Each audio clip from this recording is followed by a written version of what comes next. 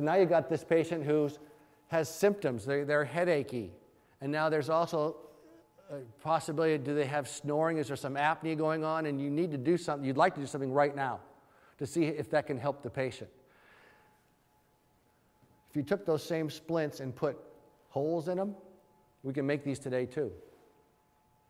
Deliver the upper, the thermoplastic oozes out. So it's an extrusion port.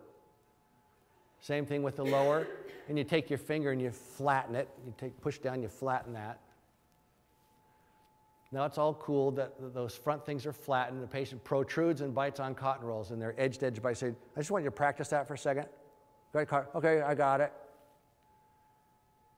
You dip this thing, that surface, in hot water so that material becomes sticky.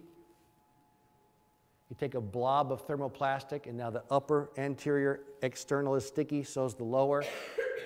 Protrude, bite on cotton rolls, put that blob there wet cotton roll and I smooth it out. It's just starting to turn a little bit gray. It's cooling. And now it's all cool. And that thing's really rigid.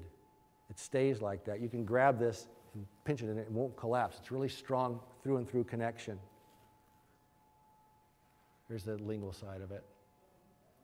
So that's a, a protrusive anterior coupled device that if the patient is, is a clencher or with apnea, they can wear this for a night or two or longer because it's kind of provisionally permanent, and you can sort of triage some people.